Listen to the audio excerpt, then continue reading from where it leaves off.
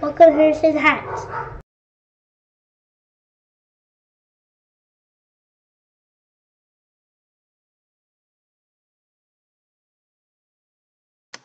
Hey guys, welcome back to Harrison Hacks. Uh, today, another vintage collection pack for you, the biggest one yet.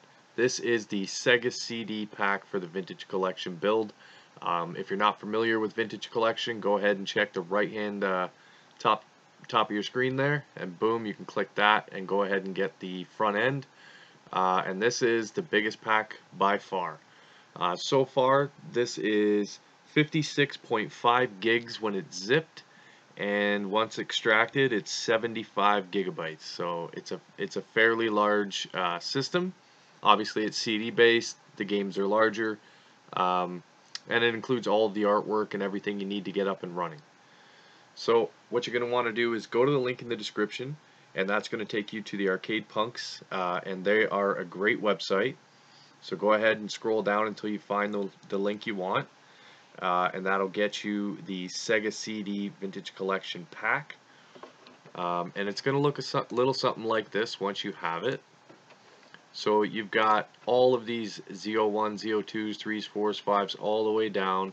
Um, looks like 83 files in total.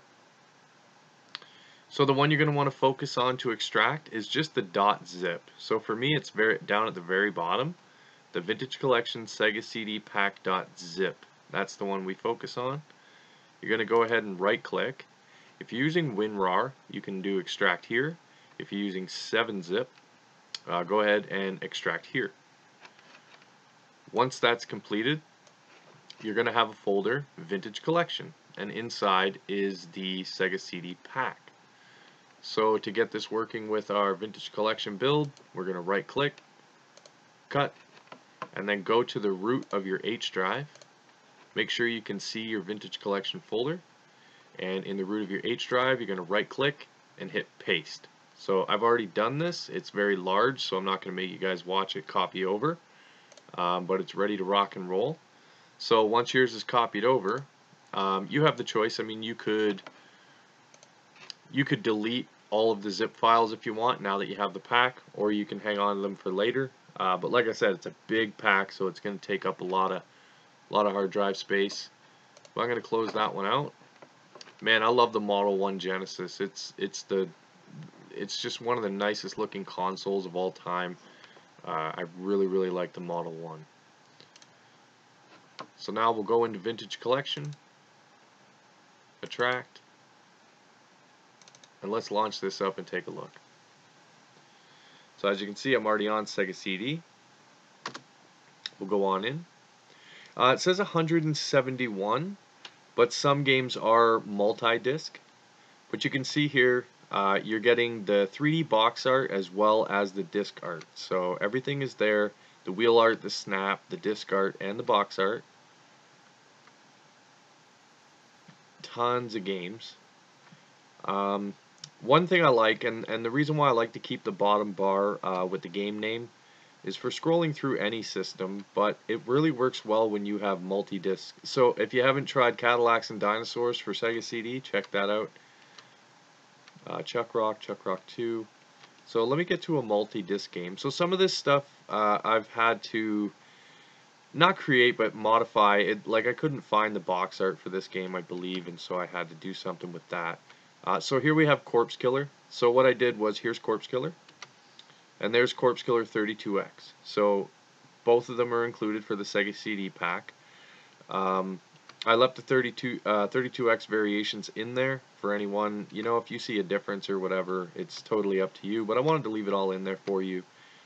Um, so here, here we go. So Dracula Unleashed Disc 1, Disc 2, uh, there's Dragon's Lair, I mean, there are a ton of different games in here. Earthworm Jim looks really good on the Sega CD. Let's see. So you got Fahrenheit Disc 1, Fahrenheit Disc 2, and I mean, this, I believe, is the complete North American set. Um, I, I never say my packs are complete sets because there could be something I've missed somewhere down the line, but I'm I, I double triple check. I'm pretty sure this is.